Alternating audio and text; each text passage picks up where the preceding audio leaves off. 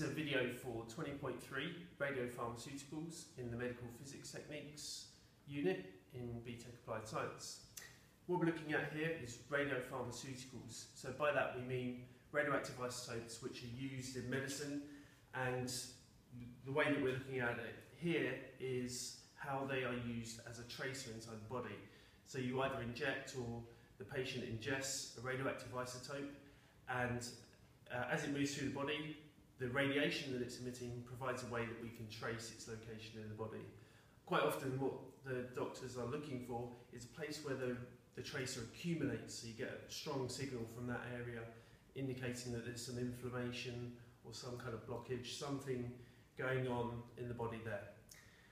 Okay, so this assignment has two pass criteria, P3 and P4, and that's what I'm going to cover in this video. Uh, P3, let's start off with that. We have to describe how the radiopharmaceuticals are produced and how they are detected. Just in general principles for this. Um, and then P4 I'll look at afterwards. So P3, uh, what we're going to have to do here is, we, well, we're going to look at two radioisotopes here. We're going to look at technetium-99m and then it's iodine-131. Those are two radiopharmaceuticals. We're going to look at how they're produced and then how you detect them in general principles. P4 goes into more detail about it. So, uh, technetium-99m and iodine-131.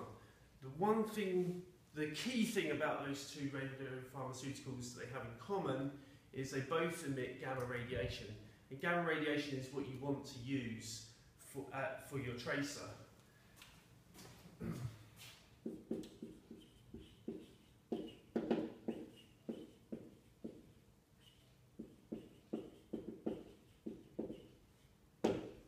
Okay, gamma radiation, that's the key thing. Why do we want gamma radiation? Well, if you remember back to 20.1, when we were looking at three types, well, uh, general principle, three types of radiation, you have alpha, beta and gamma. Gamma is the one that is most penetrating. And so what that means in this context is that it's most likely to escape the body. Once you put it inside the body, it can travel through the body quite easily. Some of it will obviously be absorbed by the body, but most of it will escape the body, providing a way for you to detect it if you have your detector outside the body, uh, which it's going to be. So gamma radiation, that's the key thing for tracers. Both uh, technetium-99m and iodine-131, they both emit gamma radiation. However, iodine-131 also emits beta radiation when it decays. So this is just pure gamma. This one is gamma plus beta. now, we're not going to look at the implications of that in the pass criteria, but you will, if you go onto the merit, be looking at what this may mean uh, for the patient and, uh, well, whether that's an advantage or disadvantage. So I'll not talk about that right now, but th this is the key one here. They're both gamma. Two. Now, both of these we actually get from another radioactive decay. So we're going to identify the isotope that is used to prepare each of these and write the decay equation for it. So let's start with technetium-99m. That comes from an element called molybdenum. Now, the details for that, the atomic and the mass numbers, they can be found in the brief for 20.1. So look that up. If you've lost your brief, then you can get that on Moodle. Get that. Uh, you can identify the numbers for it then, and it decays by beta minus into TC99M. Okay, so you can probably work out what the numbers are there for that. But it's a beta minus. So we have our beta minus particle, which is an electron, if you remember, and an anti-neutrino, anti-electron neutrino. I haven't written in the numbers there, that's what you'll have to do for your decay equation. and uh, where does molybdenum come from? It comes, uh, comes from nuclear power stations. So nuclear power stations, they collect the molybdenum and they provide that to hospitals and they'll produce a generator with that so that uh, the, the staff who work with radiopharmaceuticals prepare them, they can use that generator to get the, the technetium from it. That's technetium and now iodine 131, going to do a similar thing and tellurium is used to produce the iodine, tellurium 131.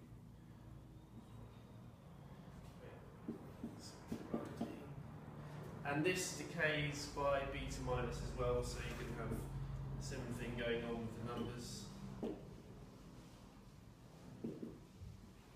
Okay, but you work out the numbers for those. Uh, so that's our decay equations that we need to do. That is everything required for the production of radiopharmaceuticals in P3. For the, the detection, what you need to do is think about how you have your patient and it has a radiopharm they have the radiopharmaceutical inside their body, it's, it's the patient's body. Uh, so let's say there's an accumulation of the radiopharmaceutical here. It's emitting gamma radiation.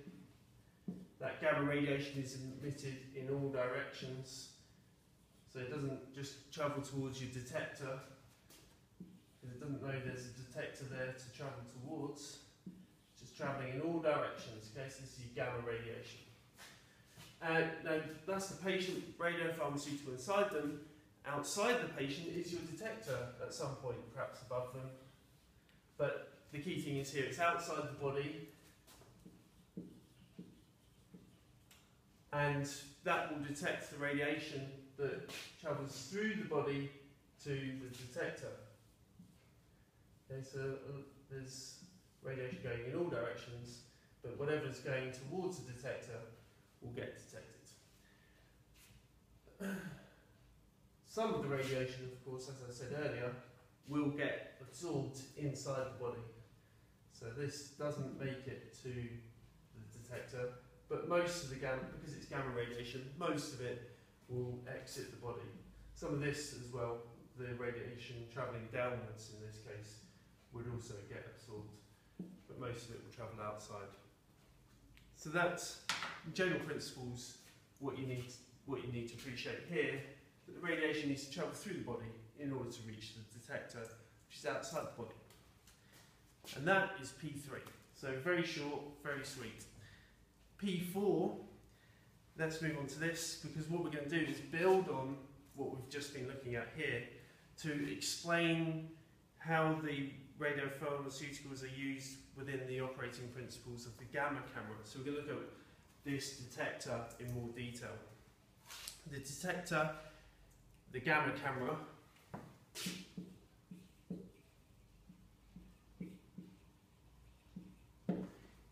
that is made up of four main components. You have a collimator,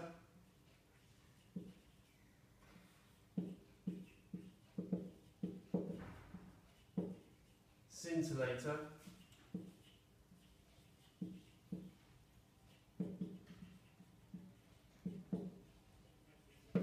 photomultiplier tube, then lastly the electronics or computer. You can call it whichever you prefer. So those are the four main components and what you have to do is explain how each of those work. In order to do that, you also need to draw a diagram with each of those four components annotated on it in the correct order. So you need to have each of those in the correct order with the patient as well to show in your diagram patient and then the gamma camera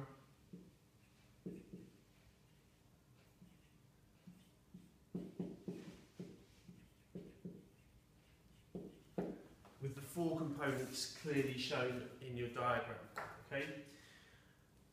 Okay, so that, that's your diagram, and then you need to do a little bit of explanation. So explain how this works.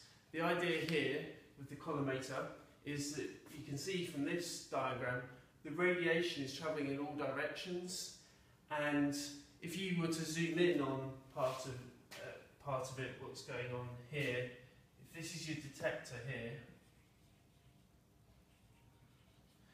and if the radiation is going in all directions, because it's not being emitted from a point, you know, you can get some radiation going, crossing over like this, okay?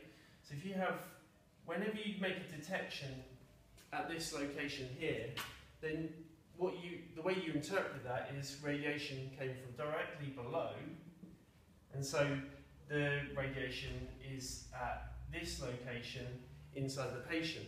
However, if the radiation travelled at an angle to get there, like that, then that's a false interpretation of what's happening. The radiation didn't travel like that, travelled over here, so actually it's over here.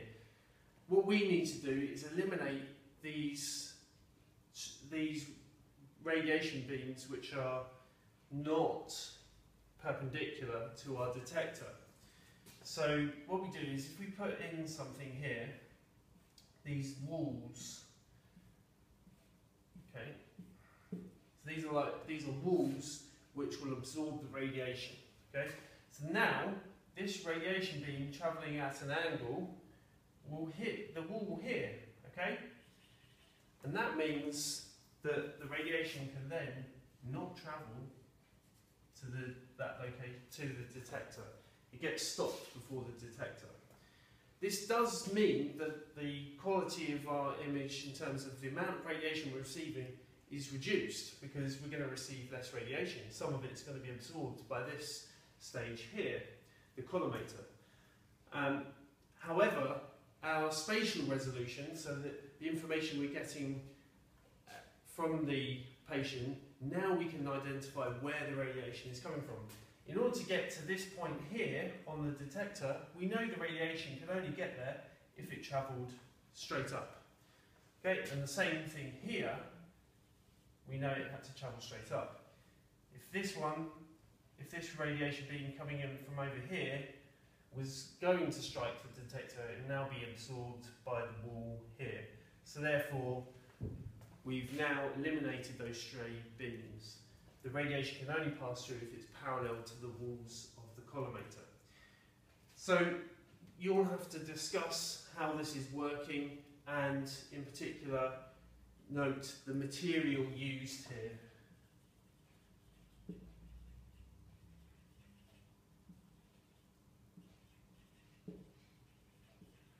The material used for the collimator and why we use that material.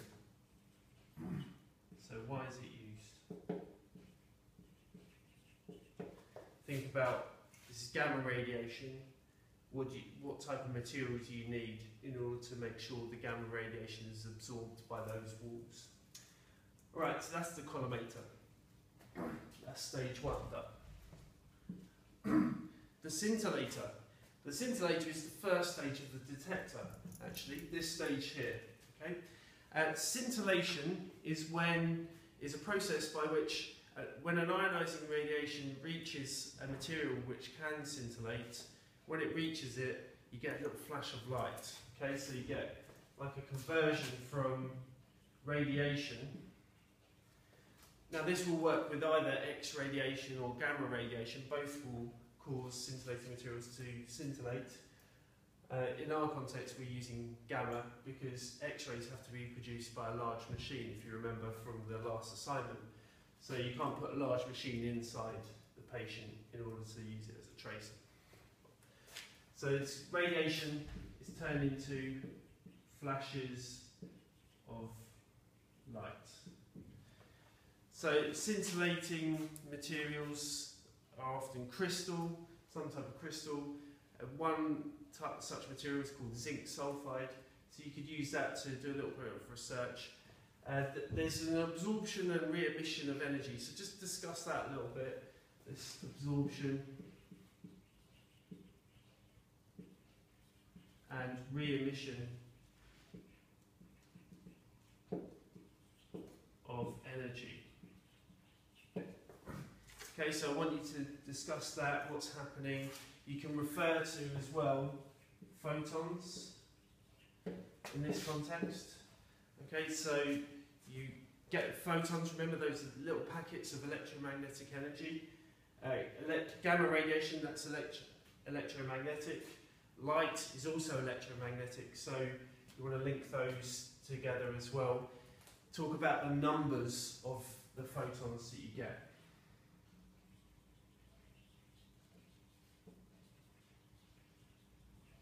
Okay, so obviously you can appreciate you're starting off with gamma photons and then getting out visible light photons. So just discuss the number uh, of each of those photons. Not, I'm not asking you to give me numbers, but a comparison. Which one has the most? Are there more gamma photons or more visible light photons after, uh, before and after scintillation occurs? So that's the scintillator. Next, we're on to the photomultiplier tube.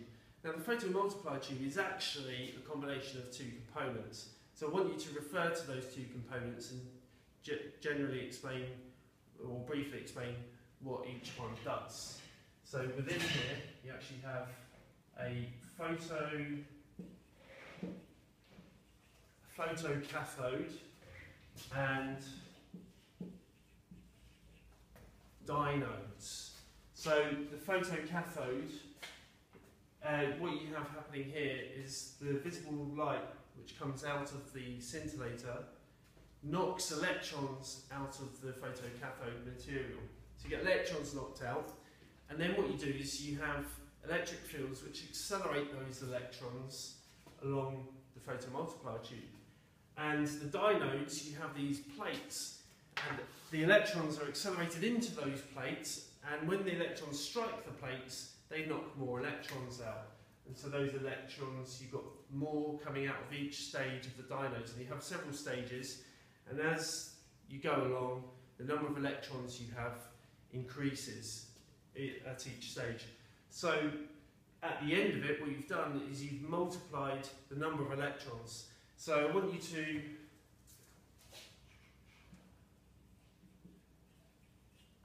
let's just write that the number of electrons.